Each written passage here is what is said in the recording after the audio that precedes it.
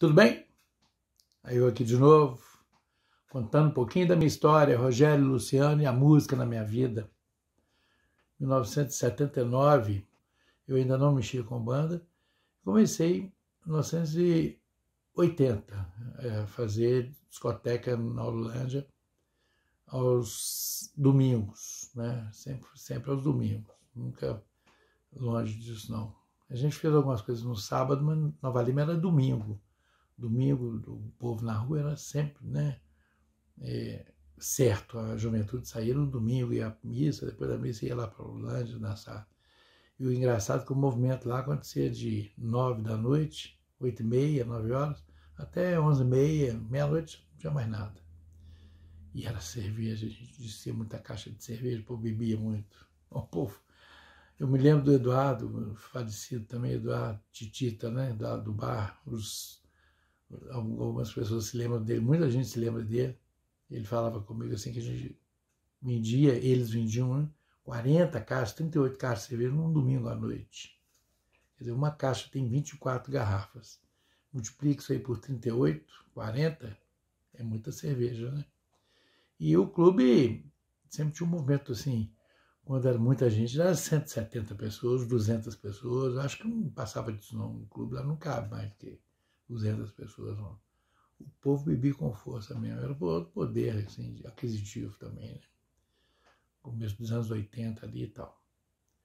Pois é, e na Holândia era assim. Eu, eu, quando eu comecei a fazer musical Minas, cantar no, no musical Minas, que eu já contei história, eu era DJ na Holândia também. Então eu chegava de baile, às vezes, de viagem, uh, domingo, depois do almoço, domingo à tarde, às vezes nem dormia direito, ia para a Holândia para poder botar o som lá, fazer o som, né?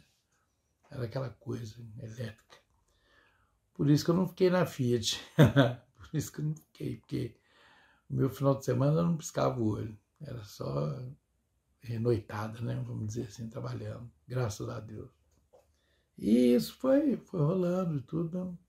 Aí quando foi, depois a gente teve ah, mais para frente, né? a aula todo domingo enchia aquela coisa toda, o pessoal. E as músicas ajudavam bastante também, né? A gente tinha eh, Blitz começando, tinha Radiotáxi, Roupa Nova, 14 Bis, é, Engenheiros do Havaí, é, Legião Urbana, os Titãs, RPM, no RPM então, nossa, tudo, tudo isso aí que vocês sabem que até hoje nada igual, né? O movimento do pop rock nacional e tal. Aí fui colocando o som, papapá.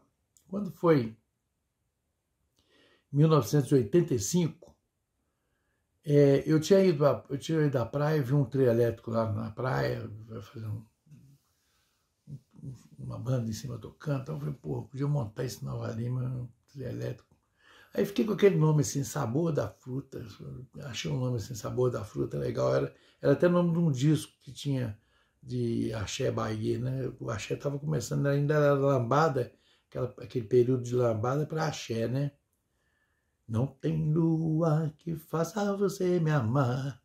Já era é, o, o, pessoal já começando com essas músicas assim, os axés, mas tinha a Cláudia, Cláudia Leite era numa outra banda lá, é, Babado Novo, Ivete Sangalo também era da banda Eva, me parece, né? Enfim. E Chiclete com Banana fazia muito, é, que comandava o carnaval. Tudo. Eu gostava muito disso. Aliás, nesse período também aconteceu de eu mexer com bandas de carnaval. Toninho Mirréis, que toca trompete e tudo, me chamou lá em 79, não sei. A gente começou, eu comecei a cantar músicas de carnaval, essas marchinhas todas aí, marcha de carnaval, sempre cantei tudo. Gosto pra caramba, samba enredo, sabe? Eu tenho essa coisa comigo também, eu consigo deixar o rock and roll de lado, deixar a música internacional, pop rock, etc, etc, e vestir a roupa de carnaval para cantar as músicas, né? Angústia, solidão, triste adeus em cada mão. Lá vai meu bloco, vai, só desse jeito é que ele sai. Já ouviu essa? Na frente sigo eu, levo o estandarte de um amor. o amor que se perdeu. Isso é macharrancho. Um carnaval lá vai meu bloco e lá vou eu também. Mais uma vez sem ter ninguém. E assim vai, né? Eu fui aprender carnaval mesmo com a banda do Zé Fuzil, né? No Centro Ideal, eu ia lá assistir o pessoal que curtia lá meu carnaval. E na época do, né, do Centro Ideal também. Aí já era no final dos anos 80 e tal, 70, 70, né? 76, 77, 78. Era época boa, eu estava assim, adolescente e tudo, e ia para a gente ia lá curtir esses carnavais. Mas então, voltando aqui de novo, né, para 1985, quando o Tadeu Vilela era diretor lá no, social lá no, no Vila Nova, e ele sempre foi com minha cara, eu sempre gostei muito dele também, a gente é amigo até hoje. Ele me incumbiu de montar uma banda, ele queria fazer uma coisa assim mais, mais assim, para cima, carnaval. Além de, de marchas, marchinhas de carnaval, colocar axé também, tal, tal. Eu chamei um trompetista do, do Corpo Bombeiro, São Paulo, tinha um trompetinho pequenininho assim, ele não tocava muito. Ele, mais um outro trompetista também, o Valdir, e tinha um trombone, e tinha não sei o quê, tinha eh, o Zé Antônio na bateria, como sempre, né? o Zé Antônio fazia a bateria, tinha o baixo, é, enfim, eram os metais, teclado, guitarra e tal. A gente montava os primeiros bailes do vermelho e branco, né? mais assim, os primeiros, né? 84, 85, 86. 85 eu assim, falei, nossa, Rock in Rio acontecendo lá e eu, eu com o carnaval aqui, fiquei dividido, né? É, uma parte de mim aqui, outra parte de mim lá, para ver o Rock in Rio. Me virei. Então, quando foi é, em 85, é que eu fui dessa praia que eu falei lá atrás, voltando da praia ali, em 84, 85, é, eu podia fazer um script aqui, sabe, gente? Seguir um script bonitinho, mas eu gosto como, como se eu estivesse sentado aqui no barzinho, batendo papo com vocês, contando a história. Então vem as coisas na minha cabeça, eu vou e falo. Mas voltando, vi um trio elétrico lá, e eu tinha um disco, Sabor da Fruta, e resolvi ter essa ideia de fazer o Sabor da Fruta aqui em Nova Lima, montar um trio elétrico aqui em Nova Lima. Nunca tinha vindo um trio elétrico aqui em Nova Lima. E trio elétrico bombava já na Bahia, né? Em Belo Horizonte também, o, impulso do Júlio, né? Ele tinha aquelas carretas, trilha e tal. Eu falei, pô, eu tenho que trazer isso para Nova Lima. Aqui, aqui a tradição aqui era a escola de samba, bloco do sujo e alguns blocos caricatos. Né? Eu fazia som também para a prefeitura, na praça. Eu já, nessa época eu já tinha equipamento de som, tinha mais aparelho, mais caixa e tal. Eu ficava ali no hall da prefeitura, montava som ali, enfim, a gente estava atuando assim, era bombando direto, trabalhando direto, dia e noite e tal, uma coisa mais prazerosa, não tinha coisa mais gostosa do que mexer com isso. Bom, aí Dona Clemer Gouveia, é, ela, em seus é, anos de vida, né, ela foi uma pessoa muito generosa, sempre foi muito querida por, por Nova Lima inteira, né? Família tradicional dos Otero, né? Os Otero, como, como eles falam, né? E a dona Clemer era um doce de pessoa, uma pessoa maravilhosa. A dona Clemer, ela estava como secretária de, de cultura na prefeitura de Nova Lima, era, na época o prefeito era o Vitor, e aí um dia eu peguei um, eu peguei umas, uns desenhos que eu fiz assim de uma gaiola, não sei o quê, num caminhãozinho 3 quartos, aqueles caminhãozinhos tipo 608 na época, né? fiz aquela gaiola lá, aquela, aquela uma banda tocando em cima, desenhei e tal, botei tudo no papel ali, botei preço, então, coloquei. E fui lá na reunião. Cheguei lá e falei, dona Cléber, tudo bem, tudo bem. Eu tô com ideia assim de fazer um carnaval, porque aqui tinha o baile do povão na praça, na Praça Bernardino de Lima. Mas assim, não tinha um carnaval na parte de cima, lá, o pessoal é, era clube tal, tal, tal. E eu falei, pô, tem que dar um jeito de fazer esse pessoal do clube também sair um pouquinho de, né, dentro do clube aquela coisa de Aurelândia Centro, só Retiro. Falei, pô, tem que dar um jeito de fazer o carnaval bombar na rua, porque no Brasil inteiro estava bombando na rua também, com essa onda do axé. Falei com a dona Clemeu, tem essa ideia de fazer isso, um trio, montar, papapá, mas eu não tenho dinheiro para poder investir nisso. Queria saber da senhora se é, parte do valor do meu cachê pode ser para poder financiar é, esse material, essa, né, o material que eu falo, metalon, ferro, não sei o que, tal, tela. E o serviço de solda ser feito lá no pátio da prefeitura. Naquela época tudo podia, né, gente? Hoje em dia nada pode. Hoje em dia o Ministério Público tem em cima de tudo, mas naquela época era mais liberado. Eu sei que ela falou comigo, ó, eu tô gostando da sua ideia, e você está querendo fazer isso na praça? Eu falei, não, eu quero fazer lá no Bradesco, naquela pracinha do Bradesco. Ali. Eu, eu tinha aquela ilusão de ver Santa Cruz ali, o povo parar por lá também, tudo, né? Aí ela falou, eu vou te dar essa oportunidade. Vou ligar lá para o pátio, vou autorizar para você ir lá fazer o seu elétrico. Os serralheiros lá, o soldador vai, vai estar à sua disposição para montar isso com você. Você tem que estar com isso pronto antes do carnaval, funcionando, bacana. Vai acompanhar as escolas de samba e vai colocar som, depois fazer o baile do povão lá em cima.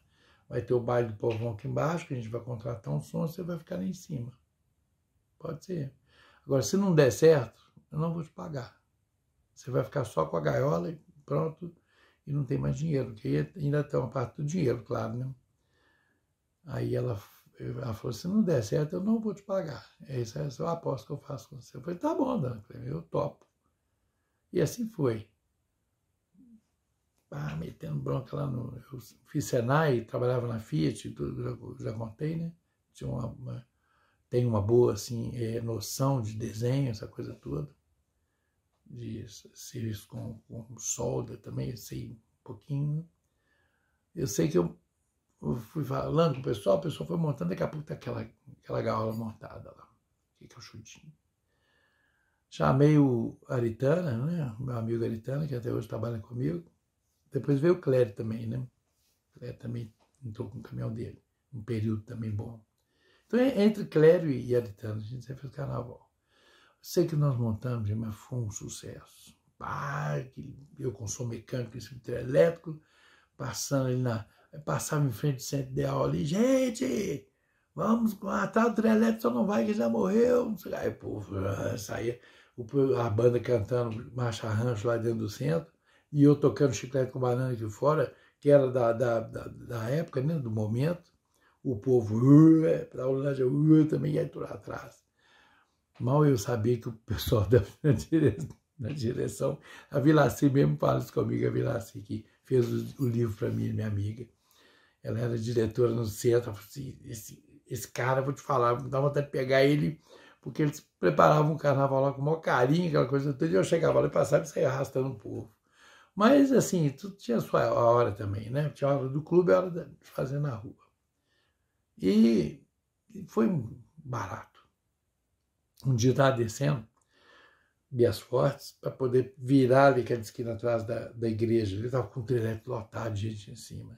Tinha um cara lá vestido de Xuxa, né? Acho que ele até trabalha na prefeitura hoje em dia. E, e, esqueci o nome dele. Ele, se ele ver, ele vai rir. Ele vestido de Xuxa, lá em cima da, do trilho elétrico. O trilho elétrico era alto pra caramba alto. Eu tinha feito aquele caixote meio, meio, meio para cima, né? Tipo uma caixinha de fósforo em pé, em vez de estar deitado assim, em pé. E bem alta, sabe? Um, um retangular e bem alto. E não tinha nenhum tipo de X, não tinha nenhuma estrutura, não tinha nem chassi. Era coisa com metalon, metalon, aquela coisa meio arcaica, essa gente. Quando nós chegamos ali, depois do ginásio do Vila, no antigo ginásio do Vila, virando ali para a praça, o Aritana fechou a curva um pouquinho, aí a, as rodas do lado direito pegaram o declínio da, da coisa. Aí que ele foi virar, mas o caminhão estava deitando assim. Ó. Gente, mas o povo passou todo pro lado de cá, lá em cima, né? Porque o caminhão fez assim. Aí o povo acompanhou o assoalho, perdeu o equilíbrio e veio segurando a seca do lado de cá. Bem do lado da, onde estava inclinado, mas o caminhão começou a entortar, entortar e fazendo assim, eu sentindo que o trem ia deitar, Eu peguei o microfone, gente, gente, segura, segura. Aí eu, eu lembro de Binha, borracheiro, Binha chegou lá, tá, meteu a mão na grade, o outro meteu a grade, aquele monte de homem vestido de mulher metendo a mão na grade, aquela situação, sabe? E eu, calma, gente, calma, vai dar certo. E editando, vai editando, vai devagar. Aí editando, fui virando assim, tal, tal. Conseguiu fazer a curva e o trem ficou assim meio deitado de lado. O Xuxa assustou e pulou lá de cima. Lá de cima ele não esperou botar a escada nem nada, ficou com ele quatro metros de altura. Caiu lá embaixo, lá, torceu o pé, ficou mancando o resto do carnaval todinha. Fantasia de Xuxa dele. É o Biage, agora eu lembrei, é o Biage. Ele, nós, eu, até hoje né, me briga esse negócio de Xuxa. Né? Mas assim, isso tudo era diversão, era tudo coisa né, que fazia parte. Depois a gente foi lá para o pátio, mexemos lá durante o carnaval mesmo, recuperamos o troço, tudo deu certo, o irmão do outro ano deu certo. E assim foi, 87, 88, 89, eu lá trabalhei com aquele negócio direto até quando, nos anos 2000, que, que eu fui fazer Raposa também, comecei a mesma coisa lá em Raposa, também fiz muito carnaval lá, mas depois eu conto. Pois é, gente, aí é, tudo isso aí foi, foi acontecendo. Ah, eu não sei se eu já contei para vocês, eu não falei não, a respeito de um comício que teve em 86, nós fizemos a campanha do Newton Cardoso, né, governador do estado e tal, a gente viajava de avião para lá e para cá, numa uma, era a Caravana da Vitória, né? Dr. Newton Paiva, da Faculdade Newton Paiva, que era o coordenador geral da campanha. E o Dr. Newton Cardoso, né? O Newton era Newton, ele era doido com a gente, sabe? Ele era doido com a nossa banda. Ele, a banda preferida dele era a gente. Assim, modéstia à parte, mas ele, ele gostava muito, sabe? Então, a gente viajava. Então, a gente chegou no norte de Minas uma vez fazer um, um comício. Você acredita que o prefeito da cidade lá, lá para cima lá, não sei, é, Águas Formosas, eu acho, isso aí. O prefeito mandou desligar a luz da cidade para ele não ter comício. Mandou desligar. Você acredita que nós não tocamos, não teve som, o povo ficou lá. O Nilton subiu na caminhonete e fez o, e fez o comício assim e foi bem votado da cidade, demais. Porque fez o comício aqui no Gogó não tinha energia, tinha tudo apagado, o povo segurando só, só é, uns tinham lanterninha, não tinha celular na época, né? Mas enfim, foi um comício feito assim, dessa forma. E depois teve o grande comício da final é, na Afonso Pena. Então, a banda musical Minas, pela qual eu fiz parte até 83, depois foi o Bolinha, o Bola, né, que é meu, um super amigo meu hoje, mas ele na época a gente não, ainda não tinha aquele contato, né? O Bola estava com o baixista lá da, da Musical Minas, junto com o Ricardo, junto com outras pessoas lá, enfim, um cantor que tinha lá também muito bom. E tinha aquela, tipo, uma competiçãozinha assim, sabe, entre as bandas, ah, qual que é banda mais, né, que toca as músicas mais coisas e tal. Então, bom, aí eu sei que o Dr. Newton falou, ó, trilha sonora vai ser a última banda a tocar. Na hora que o Newton tiver para subir o palco, a trilha sonora tem que estar. Aquilo para a gente foi motivo de, de, né, de satisfação por um lado, mas por outro foi, foi chato, porque afinal de contas uh, a gente queria tocar as músicas também, do RPM, papapá, tudo estava fazendo sucesso, falando de sucesso, meu erro, tal, tal. Gente, os caras tocaram tudo, tudo que tinham direito, eles tocaram, era de tarde, né, aquele solão e tal, e o pau quebrando, e o rock and roll quebrando, e RPM, Titãs, papapá, eles tocaram tudo. Aí o Carlinhos Cicotó, que era o baixista, né, que eu já contei para vocês, ele lá estudando baixo dele, lá, como, como sempre, né, que trem. Ele falou, é, vai ser foda. Vamos tocar o quê, cara? Esse cara tocaram tudo. Eu falei, calma, calma, fica tranquilo que nós vamos subir lá e vamos fazer. Legal. Afonso Pena é, foi na, em frente ao edifício Mesbla ali, né? Aquela praça da, em frente à rodoviária virado para Afonso Pena. Eu sei que deu umas 5 e meia, 15 para 6 da tarde, assim, que a última banda tocou antes da gente, a gente subiu o palco. E é, a Brilho, que era a iluminação, a Brilho era famosa, uma iluminação pesada de BH, aqueles canhões de lâmpada par 64, que é uma lâmpada bolsante, né? Mil watts, assim, na tora mesmo, mais de 60 canhões, estava tudo desligado.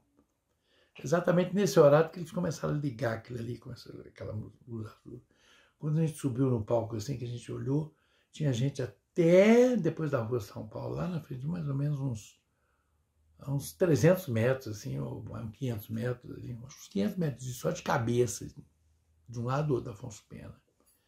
Ali, acho que tinha umas 15 mil pessoas ali, 10 mil pessoas, não sei, não faço nem ideia. Muita gente. Aí eu sei que entardecendo assim, começando a escurecer, a luz, aquela luz azul foi formando, ficou tudo azul assim e tal. O Eustáquio pegou a máquina de fumaça, correu atrás, soltando e tal. Aí o GC olhou para mim, e aí? Falei assim, toca Cherish to Love. Ele falou, o quê? Cherish to Love era a música do Cool The Gang, sucesso de 2006, música internacional romântica. Let's take a walk together, near the ones shore, hand in hand, you and I. Let's cherish every moment we have been given. Gente, a hora que começou, aquela poeira, aquela fumaça do povo com as bandas, ela foi fazendo assim para baixo, assim. Só via a cabecinha, só a testinha virada, assim, olhando para cima, assim. Até ela. E eu entrei cantando, o cara meteu um reverbão lá, e a luz em cima de mim, assim, a luz em cima da banda e tal. Arrebentamos, matamos a pau. A gente olhava lá para baixo de vez em quando, assim, as outras bandas, os caras estavam lá, porra, bolinha. Até hoje eu mexo com ele, bolinha, porra, esses caras. Nós fizemos o contrário deles, sabe? Eles fizeram rock, gente resolveu cantar Raul Seixas, né? A gente tinha uns, uns medley de Raul Seixas. É, fizemos outra parte da música brasileira que ainda não tinha rolado, né? Sei que foi um começo assim que marcou demais, né? Então, a trilha sonora foi isso. A gente, a gente fazia muita exposição, tudo mais, tudo mais, até que no final de 86 a gente resolveu buscar o nosso próprio caminho com a, com a Casa Nova. Né? A gente queria essa liberdade, essa independência também, fazer o nosso trabalho. Eu, Zé Antônio, Gessi e o Cicotó. No próximo capítulo eu vou contar da Casa Nova e vou continuar onde eu tinha parado no outro capítulo, mas como eu me lembrei dessas coisas, eu resolvi contar para vocês, tá bom? Se você está gostando dessa historinha, dá um like aí nos vídeos, entendeu? Tem um vídeo 1, 2, 3 e 4 tá? Eu vou depois mandar é, o link no, no, no, seu WhatsApp aí, do, no meu canal do YouTube, né? Com a playlist lá, com as, com as, com as pistas todas. Daqui a pouco eu vou montar a playlist com capítulo 1, 2, 3 e esse 4 agora. Obrigado mais uma vez. Tá sendo muito gostoso contar isso aí. Eu acho que o pessoal tá, tá achando legal. Dá um like aí, dá um, aquele, aquele likezinho no, no vídeo aí, tá? Muito obrigado, beijo, tá. tchau.